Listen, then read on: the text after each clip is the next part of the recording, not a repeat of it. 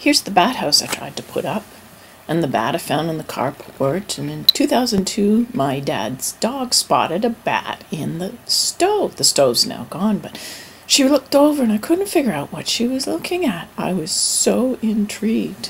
They eat bugs, you know. There's a bat going by. Did you see it? I'm trying to get photos of the bats and it's just not working out. But, you know, people are canoeing by in the dusk and I was quite happy to be outside by the lake. Kept looking around. Oh, see the mosquitoes? Yeah, they showed up rather nice. Black job skiers out there.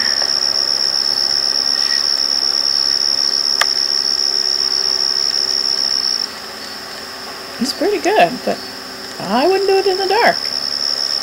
And then, first stop. Beautiful night. Nighttime's here. It's comforting to see the lights on in the cottages across the way, but oh, that sunset. The canoeists are just Black about. jobs out there in the dark.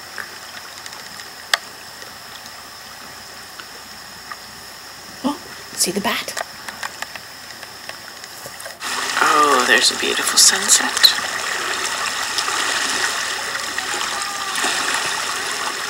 They're still water skiing.